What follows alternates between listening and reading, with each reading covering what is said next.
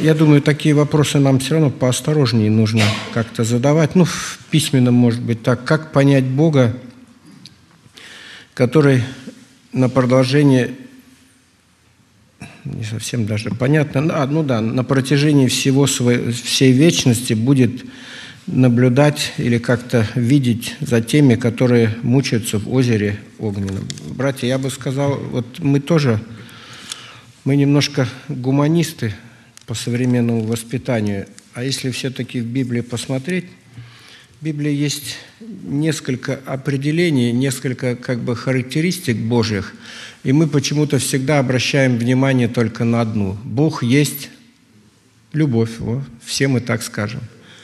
А то, что Бог есть свет, это более нейтрально, но уже, уже посерьезнее.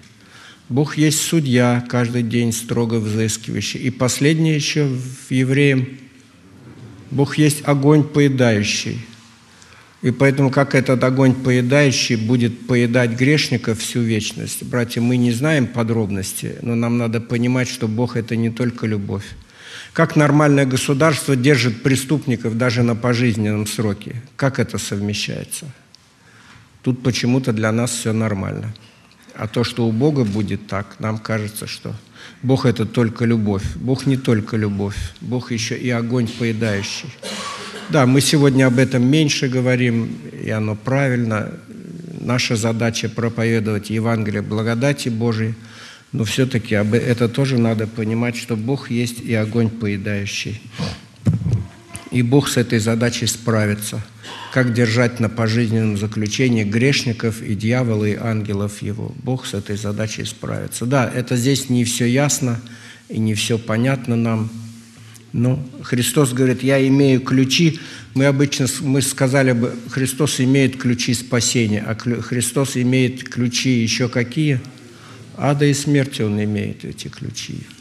В общем-то, я бы так сказал, что в тайну зла Бог не хочет, чтобы человек много вникал. Даже хотя мы и познали уже добро и зло, Бог все-таки не хочет, чтобы человек вот этими вопросами занимался. Происхождение зла. Библия говорит нам об этом – не говорит. Я думаю, даже наша психика, она это не вынесет. Поэтому Библия сознательно молчит. И когда люди оккультными путями в это входят, ну, ясно, какие последствия. Человек просто погибает. Саул от чего погиб? Мы иногда говорим от непослушания и прочее, но, в общем-то, последняя капля, какой грех у него был? Обратился к волшебнице. Поэтому оттуда черпать источники вообще не надо. Поэтому предоставим это Богу. Еще такой вопрос. В первой проповеди была мысль о том, что положение грешников будет, ну, то, что грехи будут мучить и в вечности. И вопрос такой, почему же Бог не может просто уничтожить грехи? Братья, грехи Бог просто уничтожить не может. Это совершенный факт. И мы иногда думаем, что в аду люди, если открыть ад, они сейчас все выйдут и будут примерными членами церкви, они все покаятся. Мы глубоко заблуждаемся.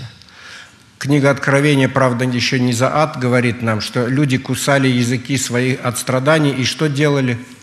Хулили Бога, а мы думаем, что они будут каяться. И в аду раскаяния нет. И поэтому эти грехи, они там с ними. Это так, так Бог мир создал – у Бога свои отношения с этим, с дьяволом, с ангелами его и с падшими грешниками. Этот вопрос немножко был уже. Нам, может быть, это не до конца понятно.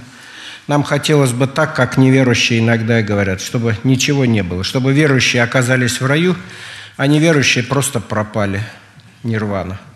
А в Библии такого нету. Неверующий человек со своими грехами. Ад – это как раз и есть осуждение за грехи, которые человек делал – желание их делать, но желания этой возможности не будет, это одно из составляющих как раз вот того положения, которое, которое будет в вечности.